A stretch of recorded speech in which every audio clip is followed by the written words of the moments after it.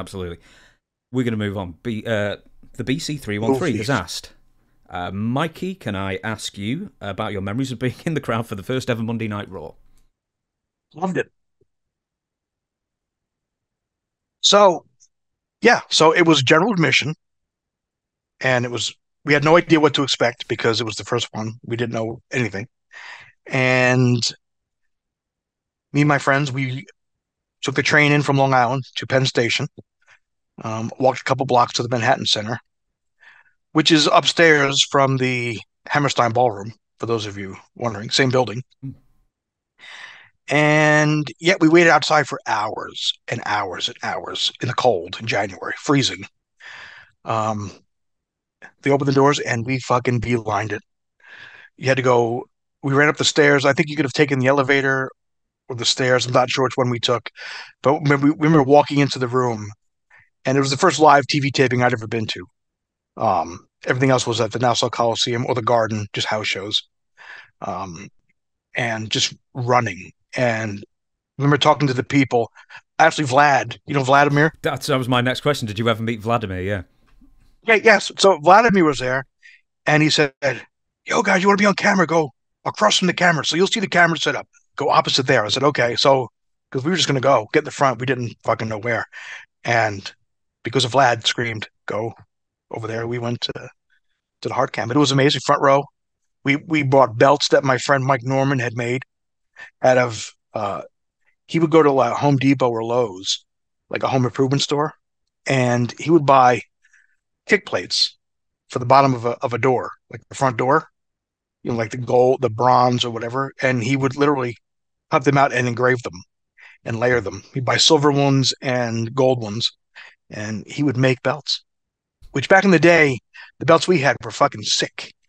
Because a lot of people, oh, they made a belt with cardboard and aluminum foil, and but yeah, we had legitimate. Like he would he bought like cheap leather and he would make like leather straps for them. It, it, these things were deluxe for back in 1991, 92, 93.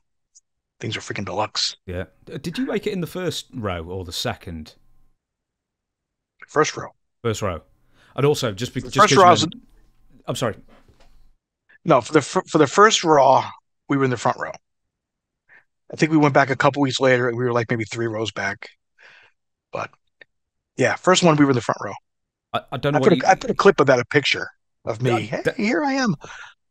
That's what. That's exactly what reminded me of it. Yeah, because uh, I went through your Twitter beforehand, and you've got a three-second GIF of you just go with a really good-looking belt. I mean, like for for back in the day, I mean, my friend Mike did an amazing job with them. It took him, I can't, uh, days and weeks of just painstakingly just making these things. It was freaking amazing we call them threshold strips here. You know the uh, the gold strips between the doorway to keep the carpet down, kind of thing. I don't know what you'd call them, but anyway, that's the name uh, we would use. for Well, them. no, the, no, those are thresholds too, but these were kick plates, actually like eight inch. I don't know, like, like this much. Okay. By like the width of a door, and would go on the front of a door, and they call them kick plates. So because if you open a door and you have packages, you kick the door open. Yeah. You don't mess up your door. You kick this kick plate. Uh, apart from Vlad, you know, there's going to be like Faith No More guy and Vlad's friend who's everywhere with him, and you know, and all that kind of thing. Harley. Do, do, do, you remember a guy in the early Raw tapings who would wear a yellow T-shirt that just said Bob Backlund, Bob Backlund? WWF champion?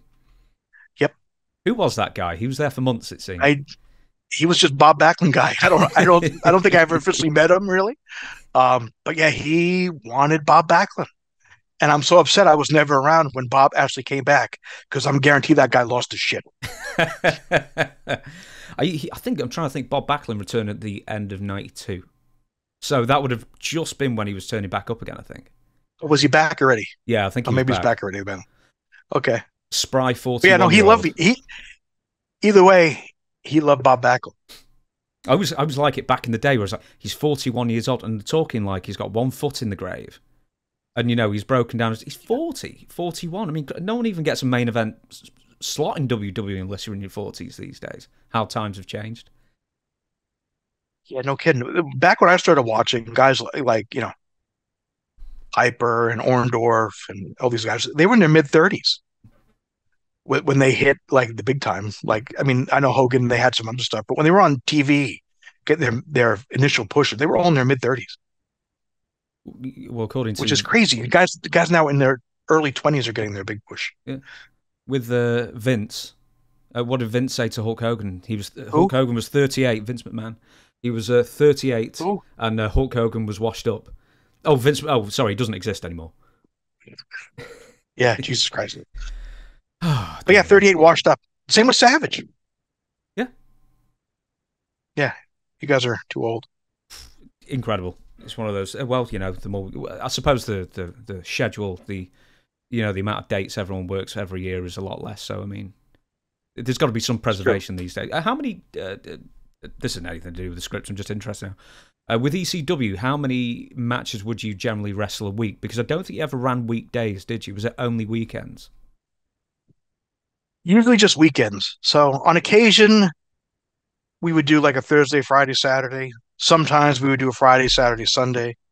So it was usually two days a week, sometimes three.